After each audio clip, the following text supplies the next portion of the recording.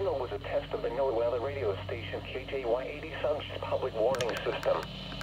During potentially dangerous weather situations, specially built receivers can automatically be activated by these signals to warn of the impending hazard.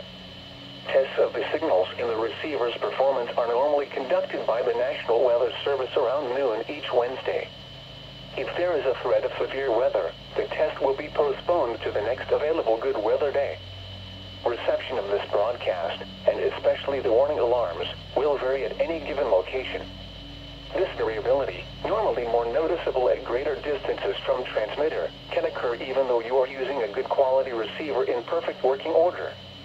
To provide the most consistent and dependable warning service possible, the warning alarm will be activated for hazardous watches and warnings for the following counties in the Blacksburg County warning area in Virginia, Campbell, Charlotte, Halifax, and Pittsylvania. Also included is the independent city of Danville. In North Carolina, the following county is included, Caswell. In addition, we also broadcast short-fused products from Mecklenburg County in Virginia and Granville and Person counties in North Carolina. This has been a test of the NOAA weather radio warning device.